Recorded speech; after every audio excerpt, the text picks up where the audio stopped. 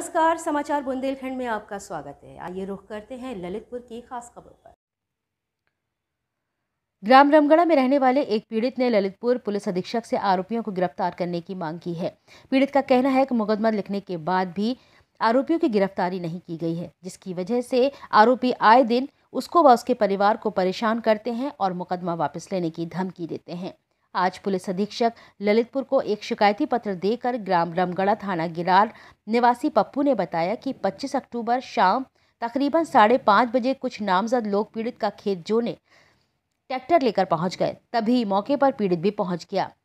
नामजद लोगों को खेत जोतने के लिए पीड़ित ने मना किया, जिसके मना करने पर वह लोग जाति सूचक शब्दों के साथ पीड़ित को गालियाँ देने लगे, जिसका विरोध करने पर दबंग व्यक्तियों ने लात घूसों के साथ मारपीट शुरू कर दी, जिसकी शिकायत लेकर क्षेत्रीय थाना गिरार पहुँचे, जहाँ पर मुकदमा तो दर्ज कर लिया गया, लेकिन उन लोगों को अभी तक गिरफ़्तार नहीं किया गया है। उनका खुला गाँव में घूमना हमारे लिए घातक है। आए दिन मुकदमा वापस लेने की आरोपी धमकी देते रहते हैं और जान से मारने की भी धमकी देते हैं।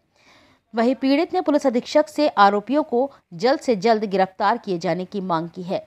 ललितपुर से मजीद मंसूरी की रिपोर्ट। जी क्या नाम है आपका? कुसऊ क्या समस्या है? समस्या ये है कि मेरे भाई को सर टाल लीवर से मारा है गणपा बुनकर ने ग्राम रमगढ़ा जी ने। थाने में एफ़ आई आर करवाई थी सर।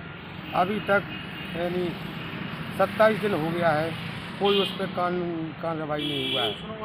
सुनवाई नहीं हुआ है।